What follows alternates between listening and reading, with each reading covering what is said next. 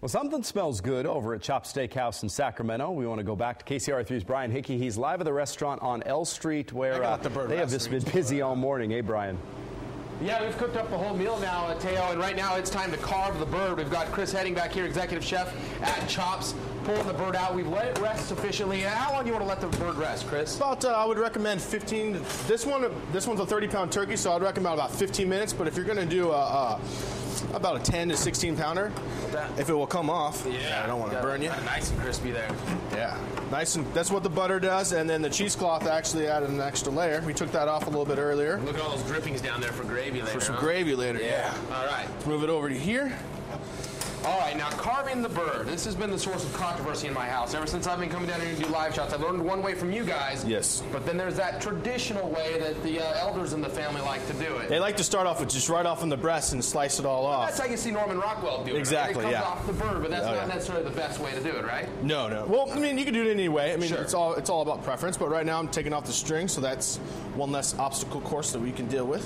So you had it all laced up, kind of holding it together, holding, Oh, yeah. holding the ingredients inside. Oh yeah. So this is what I like to do. Okay. Get a pair of tongs, and I like to cut. You can hear the skin getting all crispy. By cutting this thing off down here. Just grab it with a towel. Little editor's note here. He hasn't done this in a while because here at Chops they cook just the breast. And how many breasts did you order for this? Uh, I ordered about about 40 pounds of turkey breast. Wow. So it's nice and fun. Yeah, by the way, they're cooking up dinner tonight, so if you don't want to go through all this trouble, you can come on down here and have your turkey dinner or the prime rib, which is uh, awesome down here at Chops. There we go. So now you've this removed the breast in its entirety. Oh yes, definitely. Now if it gets out of my way, then we just want to do is just start slicing it straight down, nice and neat for you guys.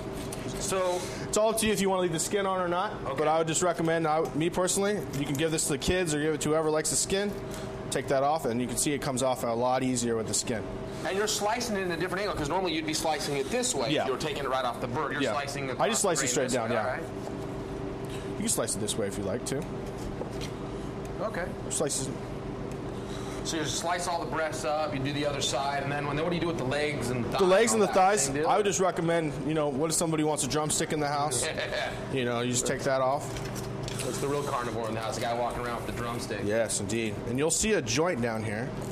Like you were saying earlier, I haven't done this in a couple years, so somewhere around here, yeah, pop it right off. All right, we'll let you fight with that thing. In the meantime, uh, There we again, they're doing the dinner down here at Chops. If you want to let them do the cooking, we're going to let him continue carving up this bird. Chris, thanks for the uh, help you this so much. morning. We've got uh, mashed potatoes coming up, buttermilk mash with some uh, gravy, and stick around for the peach cobbler. It is awesome.